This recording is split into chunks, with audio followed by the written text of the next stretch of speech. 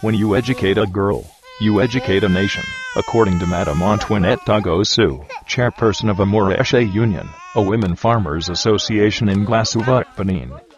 Madame Agossou is locally known as Mama NERICA because of her attachment to improved rice varieties such as NERICA, which have made positive impacts on rice productivity and transformed the life of all the members of her association.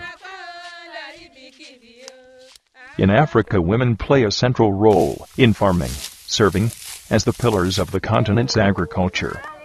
Almost 8 out 10 farmers producing staple food in Africa are women, which means they virtually feed Africa.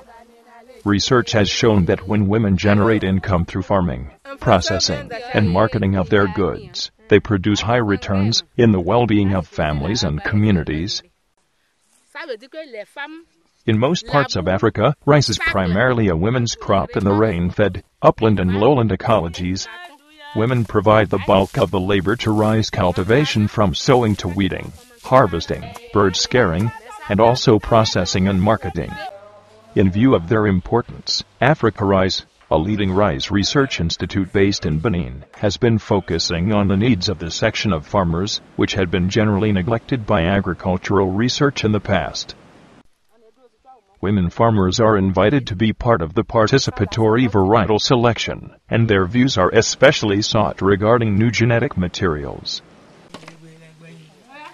To improve rural women's access to learning, several thousands of women farmers in Africa have been trained in rice cultivation, seed production, and post-harvest techniques, particularly through farmer learning videos, which have helped them improve the quality of their rice, increase their income and gain empowerment.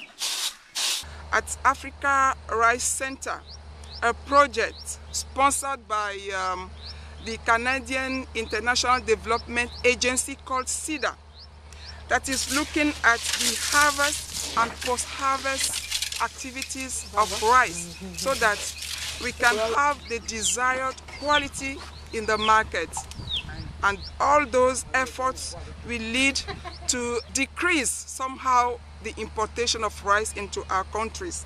Si les technologies sont développées sans souci de genre et ensuite au niveau des vulgarisateurs, Africa Rice and its partners are helping women farmers associations, such as the Amoura Ishe Union, to organize themselves into small community-based seed enterprises, supporting them with research products and linking them with the market, which can enable them to break out of the confines of subsistence farming across Africa.